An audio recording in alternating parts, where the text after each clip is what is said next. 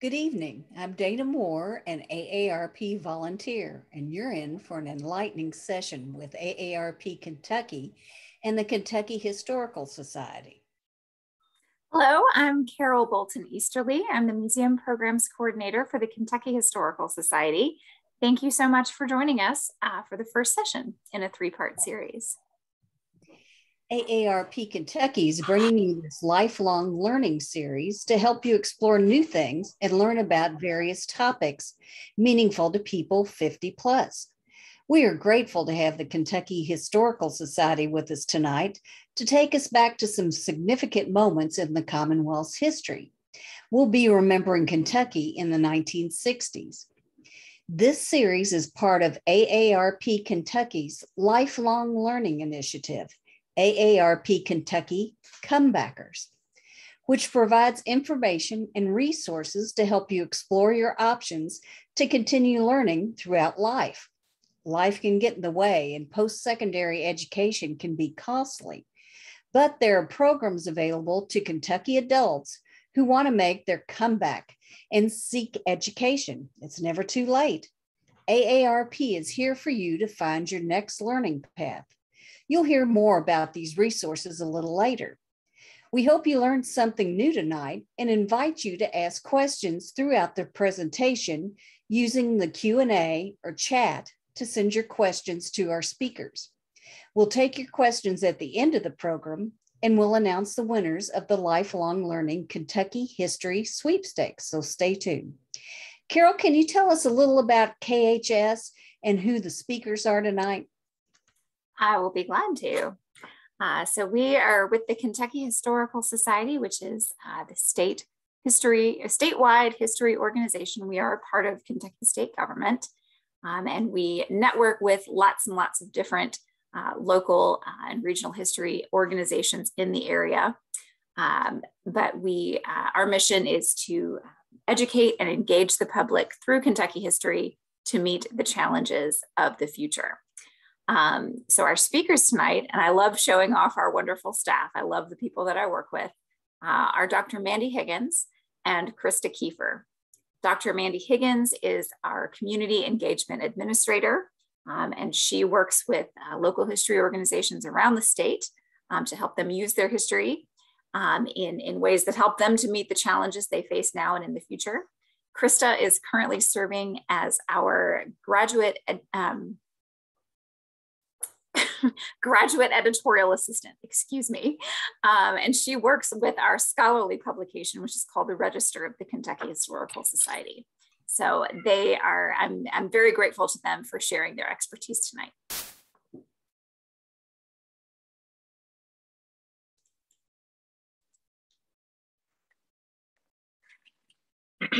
Thank you, Carol. Um, I will get started. I'm Mandy Higgins, as Carol said, uh, the Community Engagement Administrator at the Kentucky Historical Society. Um, and I have the distinct pleasure of talking to you tonight a little bit about um, Kentucky and the civil rights movement. So I'll talk for about 15 or 20 minutes and then we'll have a, a little trivia question and then Krista will talk about the war on poverty. So um, I want to start out with just a couple of quick things about the civil rights movement in general. It is often bracketed from 1954, which is the Brown versus the Board of Education decision, to about 1968 with the assassination of Martin Luther King. Um, those dates help us think about um, and put time frames on something, but the movement itself started much earlier than the, the Brown decision and went on um, and continues today. But we're going to talk about a couple of instances in Kentucky during that time, um, and then uh, a little bit about the reaction and how it relates to national perceptions of civil rights. Um, so we're going to start in Sturgis, Kentucky, which is in far western Kentucky. Um, and in Sturgis in 1956, the civil rights movement came to town, and if you will. Um, this picture is at 10th Street in Sturgis, where the Kentucky National Guard is called in because uh, at the start of the regular school year, eight students attempted to desegregate Sturgis High School. Um, the students enrolled believed that they could come to Sturgis High School um, from the and not attend the African American school. But they were turned away at the school door on the first day of school on September 5th, 1956. Um, there, um, a group of folks joined um, protesters throughout the city uh, and the on so that night a group had to call the governor um, and ask for the national guard to be activated because they feared violence and they didn't know what would happen. And that was negotiated with some of the parents who of the children who were trying to desegregate the school. They closed school on september 6th and on september 7th the students successfully entered school um, but there was violence um, there were many arrests. The students felt danger in the classroom, and folks really did not react well to this. Um, white students then chose to boycott classes at Sturgis High School. Um, it was a school of about 300, and only 50 students showed up the following Monday when school resumed. Um, on top of that, the school board claimed that students had enrolled illegally because Union County had not developed a desegregation plan. So in, 1954, um, through the Brown versus the board of Topeka, Kansas decision from the Supreme Court, schools were forced to create, were asked and then forced um, to create desegregation plans so that they were not operating separate and unequal schooling. Um, and they were given a timeline to do that. And so Union County had not produced a desegregation plan because they didn't feel pressure to do so. Um, the so the school board not having a plan was not necessarily prepared for these students to enroll at Sturgis High School um, and try to forcibly desegregate the school. So they reached out to the Kentucky Attorney General asking for the Attorney General to intervene because the students were acting illegally or outside the bounds of the school board. The Attorney General agreed um, and told the students that they had to attend the segregated school. It was called Dunbar. Um, this was a split decision because the governor at the time had uh, activated the National Guard to protect the students and to keep the peace in Sturgis. Uh, but the Attorney General, as you all know, is a constitutional officer and does not act within the executive branch, um, but in their own branch. And, the, um, and so his ruling stood that it was an illegal desegregation.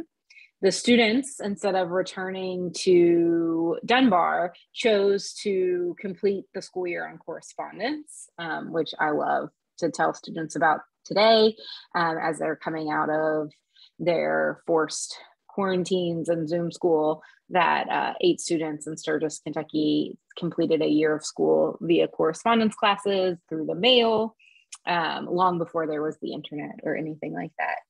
Um, so the students refused to accept that they were not able to be enrolled, would not go back to Dunbar, um, and completed the year on correspondence. And then they in 1957 the school desegregated the schools in union county desegregated with little incidents.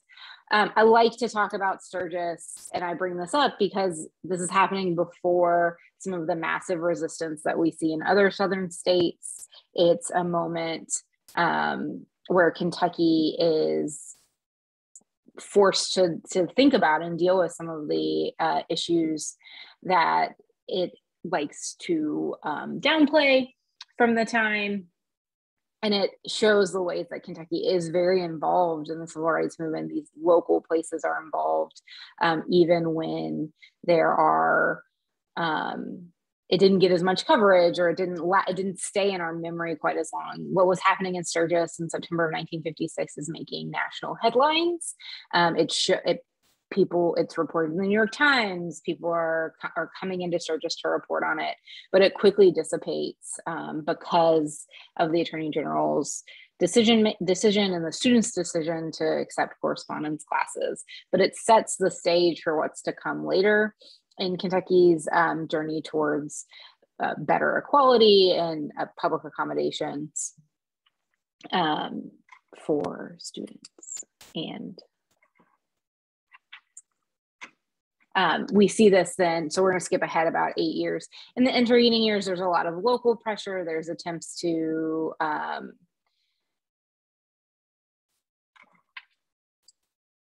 uh, to do a number of things um, along the way. And so there's building momentum for a push for a public accommodations bill. And this is happening alongside the national movement. And as you can see, um, we'll talk about some key figures now. Um, so that in um, in March of 1964, there is a march on Frankfort um, for a public accommodation. So if you've been to the state capitol in Frankfort, Capitol Avenue is the street that leads up to the new capitol. It's um, broad and wide. And on that street on March 5th, 1964, um, thousands of Kentuckians rallied to push the legislature to pass a public accommodations bill. Ooh. We went back just a second. Um, this was a march that was locally led, but included national uh, figures. Frank Stanley Jr., who is on the bottom in the middle um, of this slide, was the publisher of the Louisville Defender, which was the African American newspaper in Louisville. He'd been a strong advocate for desegregation, for expanded public accommodations, um, for equality before the law, and in the way in social um, pieces. And he, working with Georgia Davis Powers, who would go on to become um, the first woman and the first African American senator in Kentucky, and Mae Street Kidd, one of the first women of color to be elected to the state House of Representatives, uh, planned this large march. Um, and it looked a lot like the March on Washington uh, banners and signs uh, addressing the legislature. And the key figures, the two big public speeches were from Dr. Martin Luther King Jr. and from baseball great Jackie Robinson, um, who had a relationship with Kentucky with a Kentuckian, though not much with Kentucky, um, through Governor Happy Chandler, who um, helped Robinson desegregate baseball. Um, they came to the Capitol, they came to Frankfort to push for the state level public accommodations bill because these pieces, the um, the Civil Rights Act that I'm going to talk about in a second, the federal one had not passed yet, and so the push was for states to take up public accommodations, to take up a Civil Rights Act, um, to protect citizens within the state.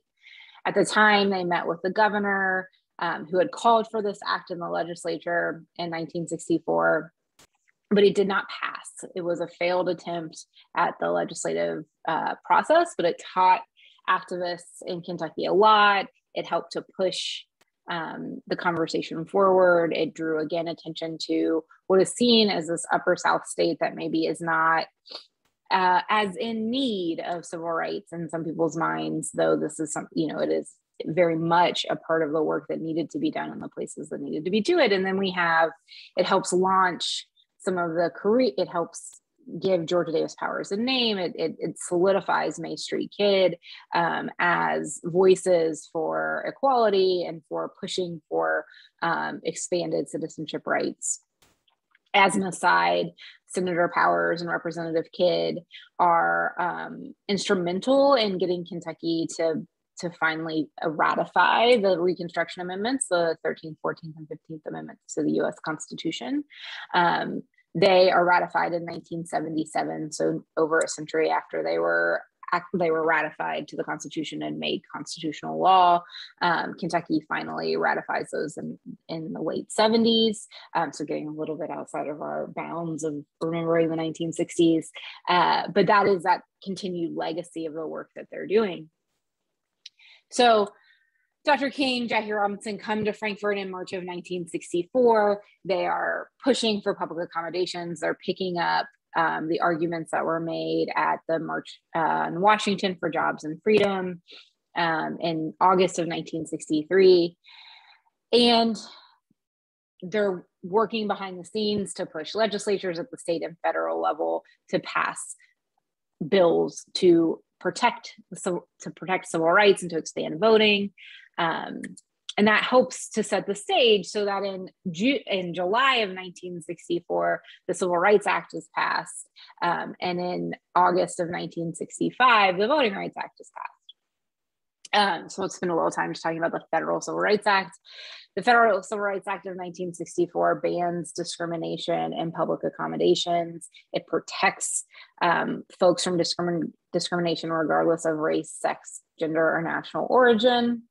Um, it was a Herculean effort to get passed in the Senate, particularly. It's um, there was a filibuster for nearly 60 days. You've been hearing a lot about the filibuster lately. Um, this is a this is a bill that was filibustered for quite a long time. Um, and one of the the provisions of the Civil Rights Act that is becomes incredibly important as it is picked up over the years um, is that it bans discrimination based on sex. Um, and this was actually inserted in the bill as a poison pill. Um, but civil rights activists thought that it was great and needed to be expanded because um, discrimination based on, on sex was um, a plank of the civil rights struggle. Um, seeking equality meant seeking equality for all. And so um, this piece is that piece of the bill um, doesn't actually poison it, it strengthens it. Um, and it is eventually passed. Uh, the filibuster fails, um, and Johnson has his key piece of legislation in 1964. Um, this bill is also gets the Johnson treatment. If you know anything about Lyndon Baines Johnson, he um, he is well known. He was well known as a, a politician for being a um, being able to rally folks to his his side in very persuasive ways um, through language and um, physical standing next to and sort of intimidation. Um, and he really took it under his watch um, after the death of, of uh, John F. Kennedy, the assassination of John Kennedy, who had first introduced this bill in the fall of 63. Johnson gets it passed um, with the, the strong backing and support of civil rights activists. He's being pushed in that direction. And he purportedly says, as he's signing the bill, that he signed away the South um, for a generation for the Democratic Party, but it was the work to do that it needed um, this this piece bringing citizenship to the vast majority of Americans and citizenship rights and protection under the law needed to happen. Um, but the Civil Rights Act does not address voting rights. And so a second bill is introduced in the legislature, in the federal legislature, to protect voting rights, um, to end discrimination at the ballot box, to ban things like uh, a poll tax or a literacy test in order to vote. Um, that bill also faced a heavy lift and was filibustered, um, but was led and, and really gained momentum after the March on Selma. This is a, I like this picture because it's in color. So it's a, a nice reminder that that wasn't all that long ago that these things were happening. Um, the March on Selma is was violent, um, and that was um, that gained attention in the ways that people were reacting against peaceful protesters. There's a very famous picture of um, John Lewis on the Edmund Pettus Bridge. Um, having been hit by a baton and bleeding from his head um, that day, and then they come back and they march again, and they they march through Selma on to Birmingham. Um, and while Kentucky did not experience quite that piece of violence or that um, dramatic moment, the Voting Rights Act passage changes the ways that people interact and they vote. Um, it changes the the push for voter registration. The Voting Rights Act um, required that states that had um, previously barred voting for any number of reasons if they wanted to make changes had to go before um, a, a review committee to do that which kept out some of the the bigger issues for a while um, it was eventually that section was eventually invalidated um, by the current court. Um, it prohibited discrimination in voting laws. It prohibited poll taxes. Those were very um, important pieces It also required things like bilingual ballots and um, equal access to um, to the ballot box. Um, it could it just uh, made voter intimidation illegal. It didn't allow for those sorts of um, other ways that people were kept from voting. Um, Kentucky did not have a poll tax. It also did not explicitly ban African Americans from voting um, throughout the 20th century. But there were intimidation pieces. There were it was hard to vote um, in a number of places, and so that Kentucky did not necessarily fall under the pre clearance or the results um, questions of the of the Voting Rights Act, but it did um, impact the way that Kentuckians voted and the access to the ballot box, um, and and that piece still lives with us. So with the federal laws in place, um, it reverted again to the states to think about how the states would be protecting um, folks from discrimination, particularly in public accommodations and in private businesses. And so in Kentucky, um, that march on Frankfort in 1964 failed to pass something, have a Civil Rights Act pass in the 64 legislature, but it was brought up again in the 1966 session um, and it passed. Kentucky became the first state to pass a statewide Civil Rights Act in the South, so the first Southern state to do so. Um, the act bans discrimination in public accommodations and private businesses. Um, so it, it provides state level teeth to the Civil Rights Act, even though federal law trumps state law. Um, and it also expanded that to private businesses so that um, that discrimination cannot exist um, within private businesses. And it established the Human Rights Commission, which can the Kentucky Commission on Human Rights still exists today. Its sole job is to make sure that there that um, state that individuals businesses and states and state actor in, in Kentucky are acting um, within the bounds of the Civil Rights Act. And that includes uh, making sure that folks are not being discriminated against because of age, um, ability, race, gender, um, sexual orientation, uh, their their role is to make sure that we are all living up to those those pieces and that we are creating and um, fostering equality in the state. Uh, they do a number of other things. There's a, a Hall of Fame. Um, they they promote history. They do some really great work, um, but they are an agency of state government, and they are there to to work with you, um, particularly around um, issues of discrimination um, based on um, identity pieces like age, race, those sorts of things. The 66 Civil Rights Act again reinforced the federal right, the federal Civil Rights Act. Uh, it was an important piece for Kentucky to show that momentum towards being a place of equality. Um, and it is um, it is still the law today. Now, while all of this is seen as um, this was all presented in sort of a rosy light, I do want to talk a little bit about the perceptions of the civil rights movement in Kentucky um, and nationally. Civil rights movement is often um, retrospectively seen as being a very positive thing that people across the country supported. It's not entirely true. Um, folks were the advances that occurred during civil rights movements met met strong backlash um, for many people. Um, it was scary and intimidating. There was fear of change. There was racism um, and sexism thrown at folks. In Kentucky, some of the um, most public times that we saw this backlash occurred in Louisville. Um, there were three or four incidents, but I'll talk about two. Um, one was around housing.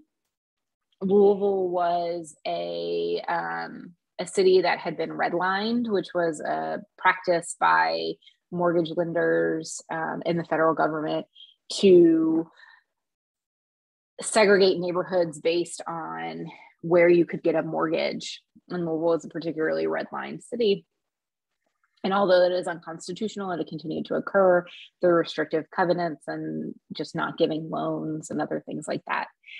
And so um, in the late 1950s, uh, Anne and Carl Braden, who were white um, newspaper workers, they ran a newspaper and were educators, uh, bought a home in Shively for um, on behalf of the Wade family, an African American family who were looking to move to Shively, the Shively neighborhood. And um, that was met with quite a bit of resistance and violence. The home was bombed while the Wades were in it. Um, and while the Wades were, were, safe, the home was basically destroyed um, and they left Louisville. So that's one example of the um, sort of the backlash to it. The other actually happens outside of the 60s, and some of you may remember this the um, the protests against busing, which is a direct result of the Brown versus the Board of Education decision in 1954. Um, Louisville's public schools uh, were not um, meeting the requirements of desegregation.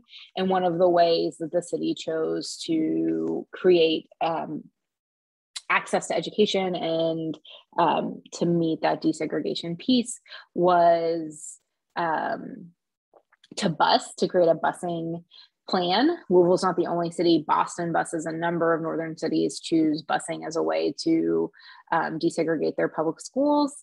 And in Louisville, there was quite a bit of protest to that busing plan.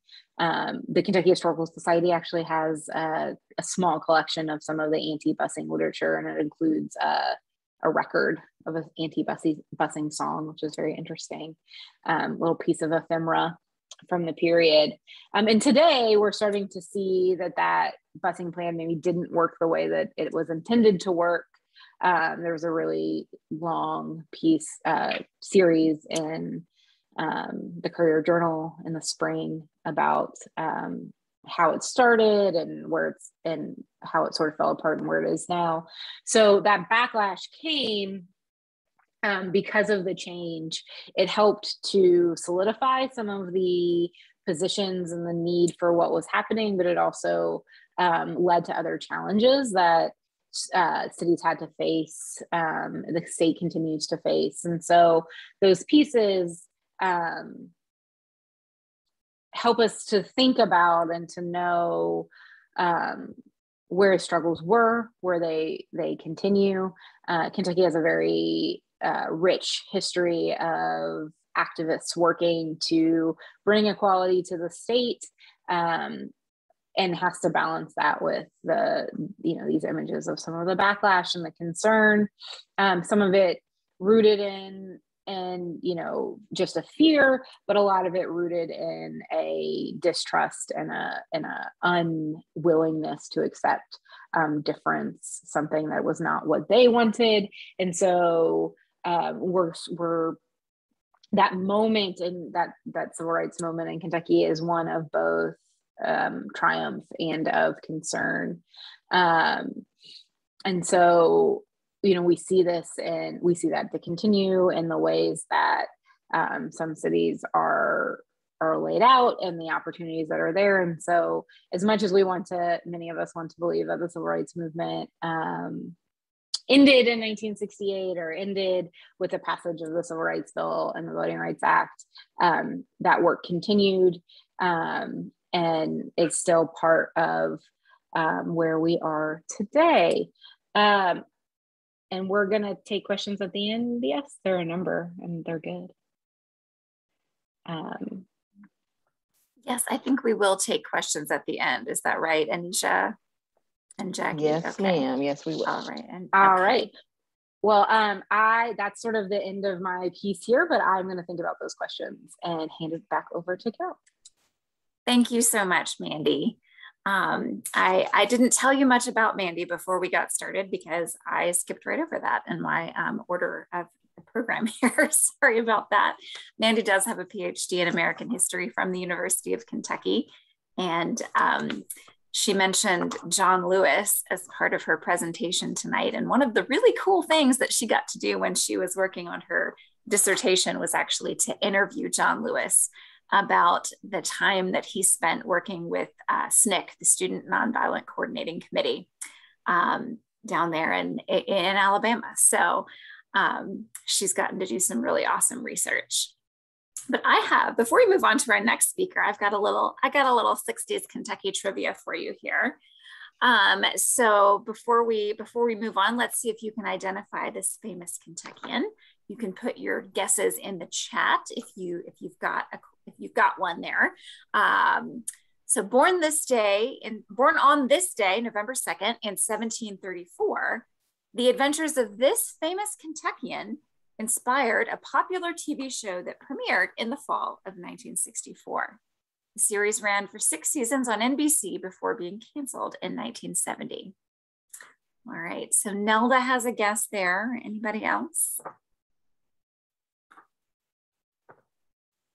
I guess not. Well, congrats, Nelda. You are correct. Um, I'm sure many of you remember watching uh, Daniel Boone on TV. Um, there we, yes, Mark, you're correct as well.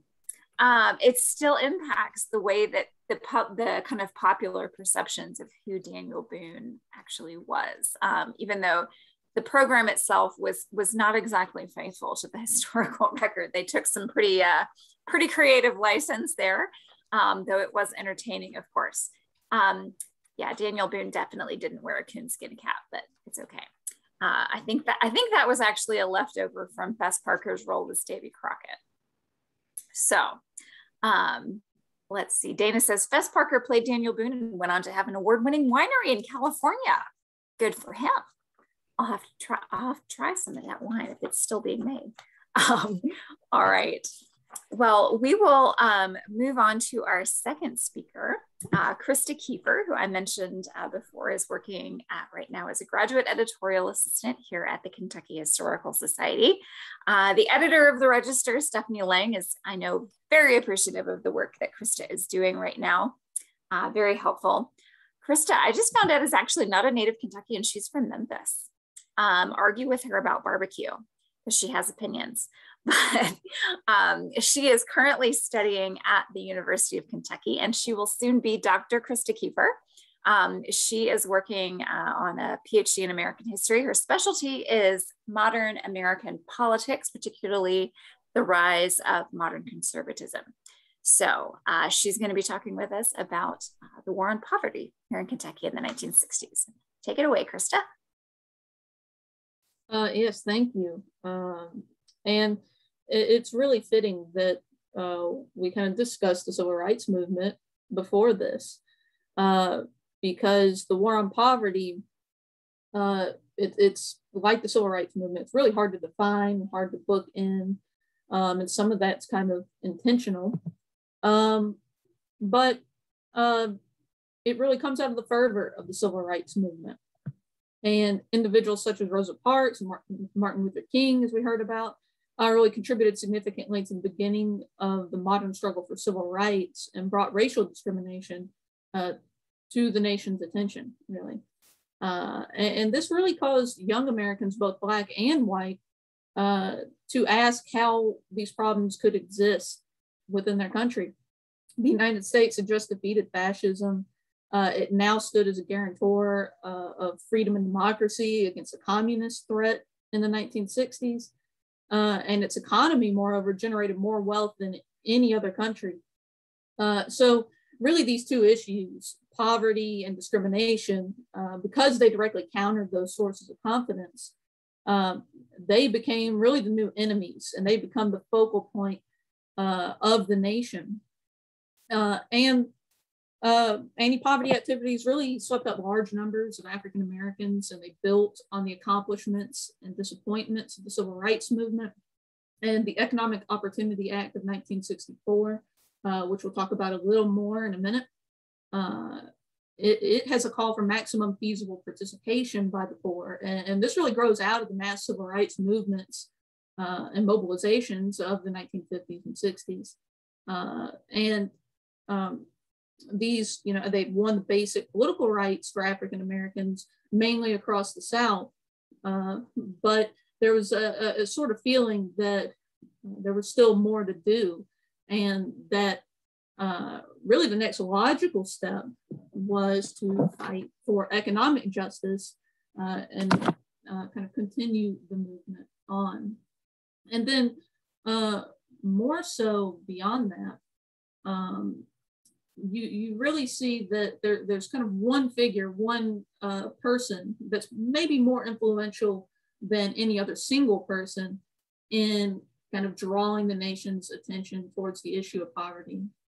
Uh, and, and, that's an author, political activist, and professor of political science, Michael Harrington, who wrote a book called The Other America, which was published in 1962. Uh, and, and, he kind of exposed what he called the nation's invisible problem, which was poverty. And, and, he really showed that it could be kind of buried in cities under skyscrapers, or it could be hidden behind mountains in what he called forgotten regions, which included Appalachia in his mind. Uh, and, and, through all this, he argued that around 50 million Americans uh, were kind of within the grips of poverty. Um, and this book was really influential to many people but it was really influential to uh, some powerful people in particular, like John F. Kennedy. Uh, and John F. Kennedy uh, was really moved by this book, and it drew his attention not only to the issue of poverty, but to Appalachia specifically. Uh, so it was really influential to him. It really got JFK's uh, kind of fervor for uh, anti-poverty initiatives started.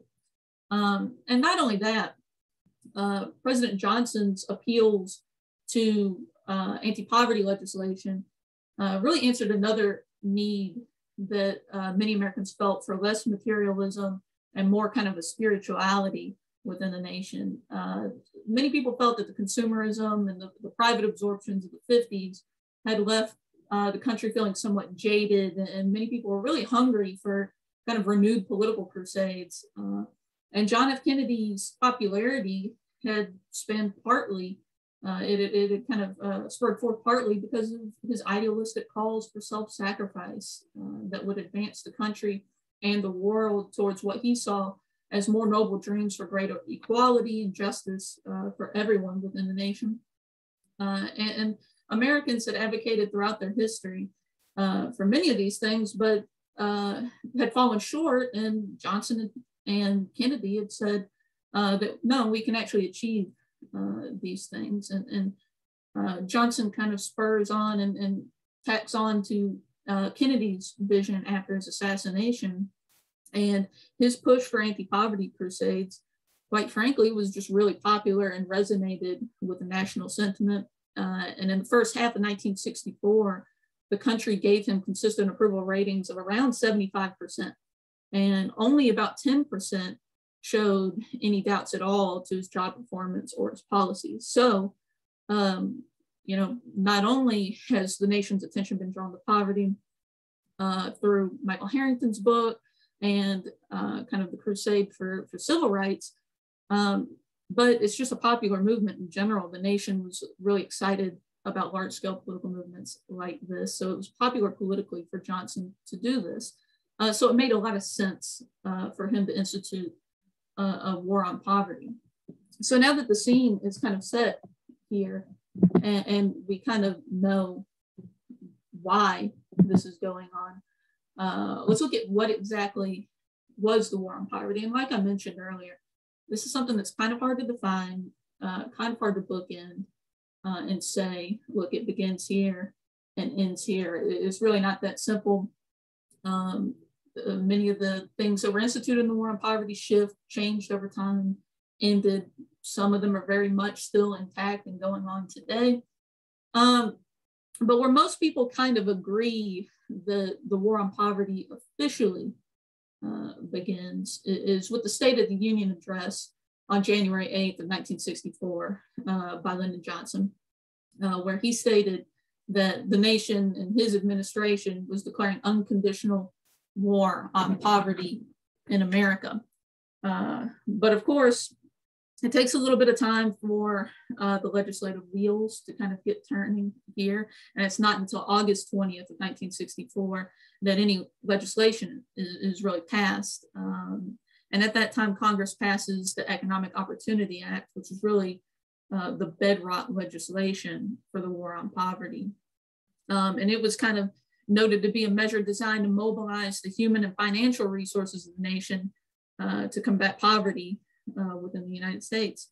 Um, and the act declared uh, that it was the policy of the United States to eliminate the paradox of poverty in the midst of plenty in this nation by opening to everyone the opportunity for education and training, the opportunity to work, and the opportunity to live in decency and dignity.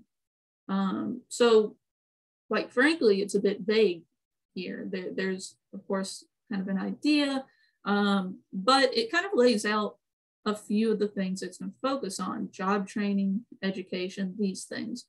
Uh, and, and, the Economic Opportunity Act uh, was really an experimental package, and it kind of ends up resting on five key pillars. Uh, and those are job training, community action, voluntarism, uh, incentives for business to hire particularly hard hit or stigmatized groups, and the coordination of these efforts under the watchful eye of the Office of Economic Opportunity. And uh, it, in addition to being kind of experimental, it's got a relatively small appropriation of under $1 billion when it's first passed. Um, so the administration is going to have to kind of get a bit creative in how it institutes some of this and how it achieves and follow the, follows those uh, five key pillars. Um, but some of the major things uh, that the uh, Economic Opportunity Act does are first, it proposes the creation of a Job Corps, uh, which is really heavily modeled after the Civilian Conservation Corps of the Great Depression era. Uh, the Job Corps was really a residential education and job training program for low, uh, low income, at risk young people uh, that provided them with academic and vocational skills, uh, which they would need to attain meaningful employment later. Um, uh, another thing is it instituted work uh, training and work study programs, which were all aimed at giving impoverished young people the opportunity to complete their education as well as develop valuable skills uh, that they could use later. Uh, it asks for funding for VISTA, uh, which is the Volunteers in Service to America, which is really a domestic Peace Corps of types uh, made for those kind of ready to enlist in this war against poverty. Um, it outlined a community action program, which would give every American community the opportunity to develop a comprehensive plan to fight its own poverty. So um, they would get to choose and point out uh, what areas they could best deal with or where they most needed help. So the communities would have a lot of say in, in what kind of programs uh, their communities would get or institute. And uh, the federal government would help them carry them out. Um, it proposed a loan program to provide incentives for those to hire the unemployed. And then last, of course, it makes the Office of Economic Opportunity to kind of coordinate all of this as stated before. Um, so you'll see that most of this um, is not social wel welfare programs, despite how the war on poverty is mainly remembered. And the reason it's mainly remembered as uh, kind of social welfare policies and not things like work programs is because actually some of its uh, most well-known and most useful programs were social welfare policies, namely uh, the Social Security Amendments of 1965, which created Medicare and Medicaid and expanded Social Security benefits for retirees, widows, the disabled, and even college-age students. Um, so this is probably the most well-remembered uh, war on poverty uh, initiative. Uh, there were examples of others like the Food Stamp Act of 1964, which made the food stamps program uh, permanent. At the time, it was really only a pilot program, not designed to be permanent, uh, but it gets made permanent. So there were uh, kind of social welfare programs coupled with many uh, work and training programs. That was kind of the meat of the war on poverty. And once these kind of get going, and once these kind of get uh, developed. The next question is really, well, where are we going to most institute these? Uh, and where are these going to be most helpful? And uh, kind of very early on, um, it gets decided that Appalachia is the place where uh, most of these are going to be instituted most heavily. And really, some of the most famous images from the War on Poverty uh, that you'll frequently see come from Appalachia um, because uh, President Johnson kind of used it as the poster child and he took uh, multiple visits there. Uh, and up on top of the screen here, you can kind of see two photos of uh, his visit to Appalachia. but the, the roots for anti-poverty initiatives in Appalachia are a bit deeper. Uh, down here, you can see JFK. Uh, he came on a visit to Appalachia in 1958. Uh, so very early on, he comes to Appalachia as well, trying to promote some of his anti-poverty initiatives. Um, so uh, Appalachia comes to the forefront really quickly. Um, and it's really a natural battleground for the war on poverty, uh, not only because it harbored some of the poorest counties in the United States, uh, but it had also just long held the interest of reformers. Of course, in the late 1890s, uh, there was the local color movement, which was a literary movement that highlighted some of the uh, uh tough living conditions in some of the more remote sections of Appalachia, uh, where they developed settlement schools that were kind of modeled after some of the more well-known urban counterparts, like the Hull House in Chicago. And um, they kind of model these initiatives off of the more well-known ones and then bring national attention to Appalachia very early on in the late 1890s. Um, so Appalachia had already been the subject of reformers' uh, kind of interest uh, for a long time. Uh, but more importantly, really, in the 1960s, quite frankly, one in three Appalachians uh, lived in poverty. And uh, per capita income in the Appalachian region was about 23% uh, lower than US average, uh, and, and, high unemployment forced millions to seek work outside of Appalachia. And here you can see a map that's become kind of famous, uh, and it's kind of a map you'll always see when a discussion of the war on poverty comes up. And basically, this is a map from 1960, and it's showing poverty rates as compared to the US average. And it's breaking it down by county. And if it's red, it's above the, uh, or it's below the, the uh, people's income is below the national average. Uh, and the darker the red, the higher above it is. And you can see pretty much every single county below the northern border of West Virginia and Kentucky is 150 to 350 percent uh, higher, the poverty rate is higher uh, than the US average. And then every single uh, one of the counties is higher than the average, but the overwhelming majority are 150 to 350% higher. So significantly higher. So it makes sense uh, at this point to direct some uh, uh, poverty relief to the region, right? Um, so uh, in 1963, uh, President John F. Kennedy uh, created the President's Appalachian Regional Commission. Um, and uh, this was really to prepare a comprehensive uh, action program for economic development within the region. and this work gets continued by John F. Kennedy, or by Lyndon Johnson, rather. He, he uses a PARC report as the basis uh, for legislation. Uh, and, and, he uh, ends up asking Congress to provide uh, special aid to Appalachia for his war on poverty. Um, and, and, eventually, uh, passed by Congress in 1965, uh, the Appalachian Regional Development Act creates the Appalachian Regional Commission, which is going to oversee the economic development in the region. And it's going to oversee the construction of the Appalachian Development Highway System, which is uh, really indicative of what the War on Poverty wanted to do nationally, uh, but particularly uh, what the uh, Appalachian Regional Commission wanted to do in Appalachia, which was focus on infrastructure.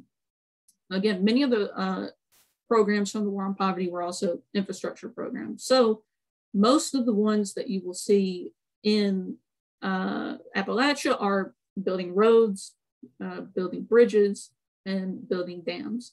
Uh, those are kind of the main programs. And, and the, um, uh, the highway program is one of the biggest and most important ones. Uh, not only that, though, the Appalachian Regional Development Act also, for the first time, uh, politically actually defines Appalachia. And, and, it lists Kentucky and parts of 12 other states like West Virginia, Alabama, Georgia, Maryland, etc., as part of the Appalachian region. And it doesn't uh, actually follow the Appalachian Mountains all that specifically. Sometimes it strays from them, but Appalachia gets defined politically for the first time. Um, now, again, it is difficult to uh, bookend a lot of this and say when it began, when it ended. There's an argument uh, that it's still uh, going on today, that the, that the war on poverty is still happening. Many seem to say it ends uh, during Bill Clinton's presidency when he pushes through some uh, uh, welfare reform that shuts down a lot of what the war on poverty is doing. Uh, despite that, it's fair at this point, we're about 55 years out from the war on poverty. It's fair to assess its uh, successes and failures uh, and to see what it actually did. Um, and uh, quite frankly, when you just look at the statistics, in the decade following 1964, uh, poverty rates in the US dropped to their lowest level since comprehensive records began in 1958. And when you look at the Appalachian region in particular, uh, you can see a significant gain here. Um, so you can see that map from 1960 earlier, and then here we have the map uh, from 2008 and 2012. Now, you can see that there still are a lot of counties that are in uh, what would be called a distressed condition, but it, it is significantly better uh, than the map from the 1960s, that there has been at least some ground made here. Uh, most people will admit. Now, it gets interesting when you look at some of the national figures and start breaking them down uh, a little more. Uh, you can see here uh, that poverty rates have decreased. Uh, the one on the top is the sheer number of people in poverty. The one on the bottom is uh, the poverty rate. And you see there has been a decline. Now the number of people in poverty at times has gone up. Of course, with the Great Recession uh, in 2008, there's a spike, uh, things like this. But uh, there, there's no doubt too that around 1964, there is a significant drop. Uh, so many proponents of the war on poverty and supporters of the war on poverty uh, will point to this and say, well, no, there has generally been a decline um, not only that, there's a sharp decline when the war on poverty, uh, you know, gets underway. Um, now, opponents will point to something kind of interesting sometimes, which is that if you look at this graph over time, uh, the downward trend actually begins before the war on poverty. So some opponents will say, look, poverty was just on decline uh, to begin with. Uh, so uh, some people will point to that, uh, that are opponents. Uh, now, it, it, gets a bit even more interesting when you break it down even further by, for instance, age group. So, uh, poverty among Americans between ages 18 and 64 really only fell marginally since uh, 1966 from 10.5% to about 10.1%. So, really, in, in, the age bracket of 18 to 64, which is a quite large age bracket, uh, there was really only a marginal decline uh, in poverty rates. Uh, but poverty has significantly fallen among Americans under 18 years old from 23% in 1964 down to 17. Uh, now, sometimes it has spiked back up in the 20% uh, range, but still generally there's been a pretty significant decline uh, in poverty rates among people uh, 18 and younger. Now, the uh, most significant group uh, and the most dramatic decrease in poverty was among Americans over 65, which fell from 28.5% in 1966 to 10.1% uh, generally. Uh, about a decade ago, that statistics pulled from. Um, so uh, it, when you break it down by age range, uh, there are areas where, well, the war on poverty was more successful than others. And opponents will say, see, look, it only had a marginal effect on specific age groups. And proponents of the war on poverty would say, well, those were the age groups that fell more under our policies. It was more so directed at people under the age of 18, more of our programs were, and people 65 and older. Uh, so uh, proponents will point to that and say, look, where we were allowed to uh, push our policies most heavily, it was most successful.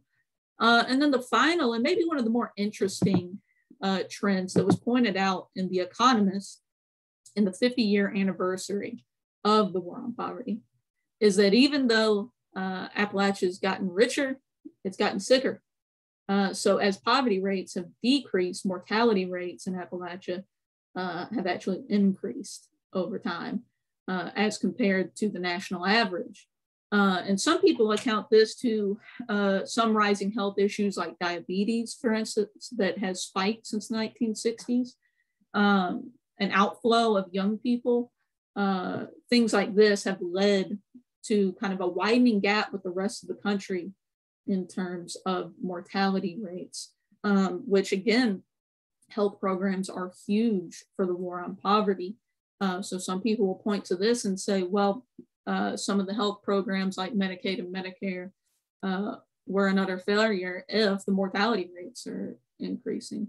Uh, proponents will point to and say, no, look, there's other trends like rising health issues, like again, diabetes is the big one uh, that many will point to, uh, that the rise of these health issues has caused this kind of widening mortality spike.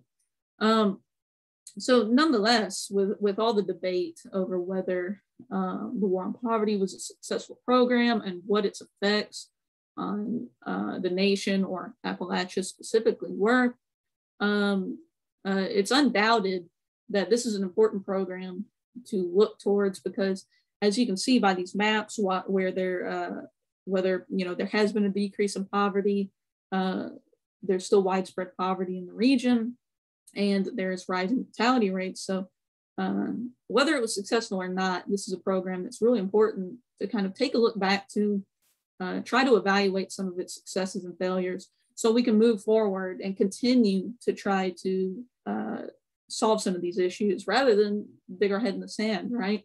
Um, so it's important to look back at some of these issues uh, of the 1960s uh, and, and, how they dealt with them then to see how we can continue to move forward uh, and progress. Thank you.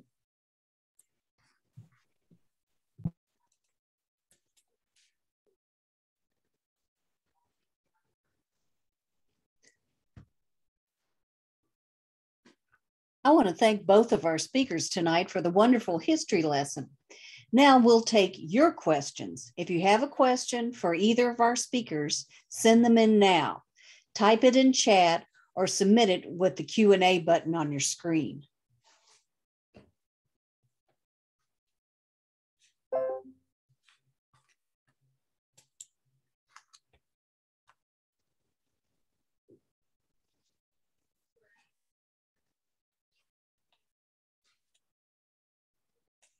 I believe we have some in chat. Yeah, there were a couple um, addressed to me, so I can start, and then there are a couple for you too, Krista. So um, we had a question: if we, uh, when you're talking about the filibuster, is it as we know it as a talking filibuster? Um, after 1917, the filibuster really changed and was really about cloture, which is about getting to the point where you can vote and end debate. So in 1964 um, the filibuster, there was some talking. Robert Byrd, very uh, West Virginia senator, very famously spoke for 14 hours.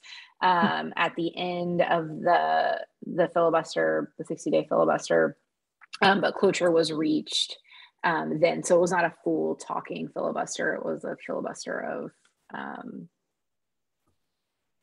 not getting to a vote to end debate. Um, the members of the Kentucky Commission on Human Rights are appointed by district, and then there are at-large appointments, and the governor gets to appoint those openings, but they overlap gubernatorial um, pieces. There's a question about federal money provided to Jefferson County to implement busing. Um, it was actually the reverse. Federal money would be lost if a true desegregation plan was not put in place by 1974.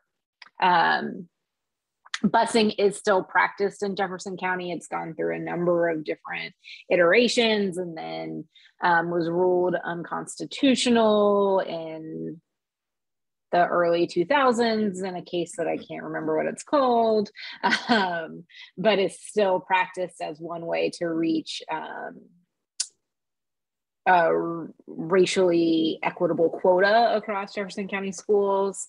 Um, other methods were used um, in a lot of other Kentucky counties that are not nearly as large as Jefferson County um, to just, you know, there's one high school. So you close the segregated African American school and you integrate or desegregate is a better term there the um, the white school. And so uh, Jackie told us earlier, she's from Hopkinsville. There's a pretty famous story about Attucks closing and then coming into Hopkinsville High School. We worked with some of the graduates of Attucks um, about five years ago and it was really great.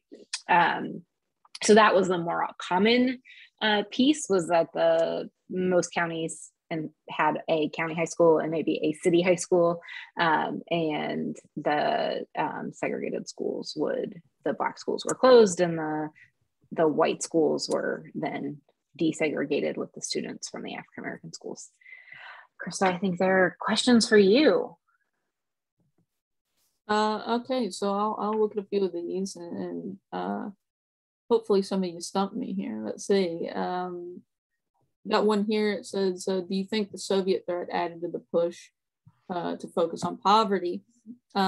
Absolutely. Uh, the Cold War is not just important with the war on poverty, but the civil rights movement as well.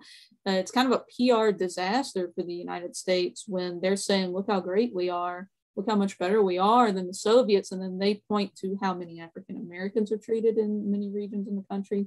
They point to areas in the United States where people are struggling uh, for the very basic necessities. And they're saying, look, uh, you aren't that great, right? Look how the American system's working. It's not working for everybody, etc. So yeah, that brings it kind of uh, to the forefront. Um, and then a few more about Appalachia. What's working well today to fight poverty in Appalachia? Well, I think the issue uh, is still poverty, but it's also changing more, like you see that map, to the mortality rates, healthcare, uh, issues surrounding health. Um, so uh, they're kind of pushing in that direction to try to find ways to help with the opioid crisis right now, uh, to help with issues like diabetes.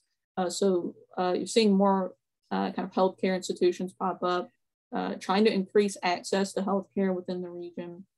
Um, some of those those infrastructural improvements, I believe there's a highway that's just now getting widened again out there. so um, some of these things do increase uh, resources and infrastructure, particularly healthcare. Uh, will probably be moving in the right direction uh, today. Um, and then was mining the largest industry uh, in the 60s? I don't know, but I would guess that it was. Uh, particularly in the 60s, there was kind of this last spike for mining industry uh, where it kind of did its last increase uh, before it started to kind of uh, nosedive again uh, slowly uh, and, until where we see it uh, kind of dropping more and more faster and faster today. Uh, but yeah, I would imagine it, it was one of the larger, in, larger industries, but also one of the more well-paying ones in the area. And I believe that's it. Okay. Any other questions? Um, there is the question of if integration is the same as desegregation. Not quite.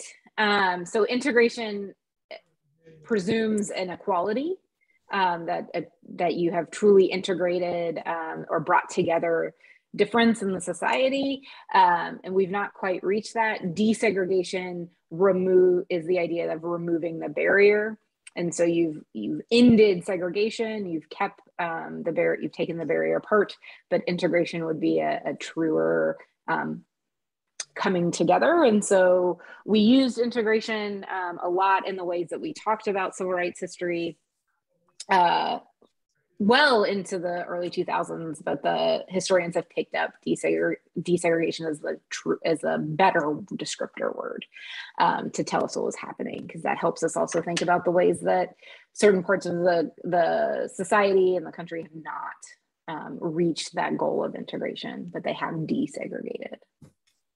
That was my question. Thank you. Well, thank you for submitting your questions. Now we're going to hear from Jackie about AARP Kentucky Comebackers. Hello, everybody. I'm Jackie White. Um, I feel like I'm sitting in a history class and uh, that I participated in everything because I remember most of what we've been talking about. I was a kid, but I still remember it. Um, I want to uh, talk just a minute about uh, the lifelong learning. I'm going to be uh, sharing some resources to help you start your comeback if you want to restart uh, your life plan for education. Oftentimes, life just sort of gets in the way, and it can be difficult to do everything that we want to do. And uh, right now, there are three pathways in Kentucky that are opportunities to help you advance your education and your career.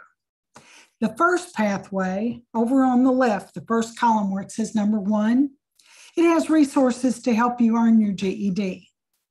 For those of you that couldn't finish high school for some reason, Kentucky Skills U offers free adult education services in all 120 counties. GED Plus can allow you to earn a GED and a technical certificate at the same time. You may want to be able to take the GED test. Uh, I mean, you may be able to take that GED test right now free while the funding lasts, because right now it doesn't cost anything in most cases. The second pathway, that's number two, that column, includes resources for adults who want to earn a certificate or an associate's degree. With Work Ready Kentucky, you may qualify to earn up to 60 college credits tuition free if you already have your high school diploma or your GED. Now, Donovan Fellowship, which falls in the second and third columns, actually applies to associate degrees and above, including bachelor's and graduate level degrees. If you are 65 or older, you may qualify for a tuition waiver to take courses and or work toward a degree tuition free with that Donovan fellowship. The key to that is 65 or older. That one's probably going to be free, and it's called Donovan Fellowship. Lastly, in addition to the Donovan Fellowship, in the third pathway, you have a resource to help you finish a degree that you've already started. If you have previously earned 80 or more college credits at a four year institution in Kentucky, there may be a degree completion option available with Project Graduate at your institution.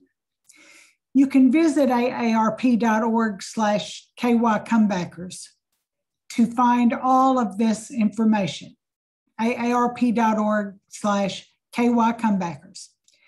You can find this information, learn more, and determine what matches your own goals. Follow the links to the program websites or call to see if you're eligible for your desired program. Back to you, Dana.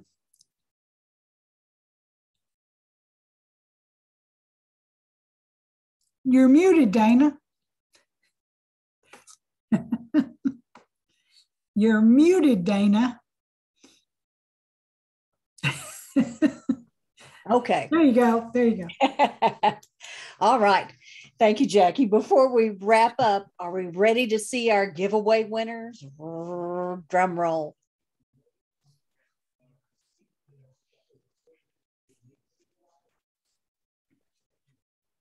Deborah, I think you may have some uh, the the drawings. The, the list, yeah. the the drawings or the list.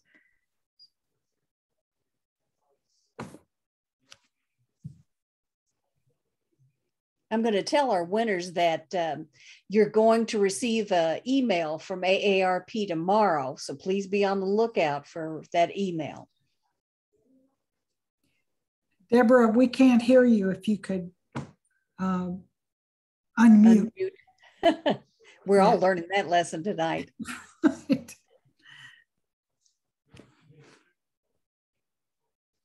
there we go. Robert Braverman, Joan Fitzsimmons, Stephen Morgan, Donna Anderson, Andrea Allen, Gerard Weigel, Julie Kelly, John Strebel, Sheila Stoke, Lee Carroll, Andra Adams, Emily Hudson, James Shings, Judy Jackson, and Marlene Frost. They are our winners. Oh, great. We've got the list now. Right. Congratulations. screen. Um, do you have, uh, does anybody have a, a picture of the prize? I don't have anything handy. Nope. Okay. so it's going to be a surprise. well, it's a very nice gift. So, but I don't have a picture of it. So, uh, do we have their email? I think we have the email addresses from their registration. Yes, we should have your email from the registration. Okay. So, so we'll be if, contacting if you. If you're a winner, look for an email tomorrow from AARP just to double check your email address.